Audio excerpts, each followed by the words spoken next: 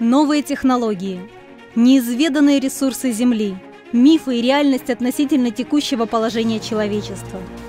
Обычные люди, реально меняющие климатическую ситуацию как вокруг себя, так и глобально в мире. Проявление человечности и объединение людей для выхода из климатического кризиса.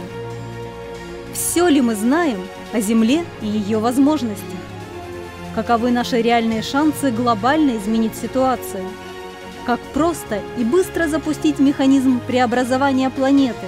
Это и многое другое. Смотрите в новом разделе канала «АЛЛАТРА Наука. Климат. Дыхание жизни». Чтобы быть в курсе реальной климатической ситуации на планете, подписывайтесь на наш канал, а также присылайте информацию об открытиях в сфере новых технологий и примеры взаимопомощи людей, очевидцами которых вы стали – на почту с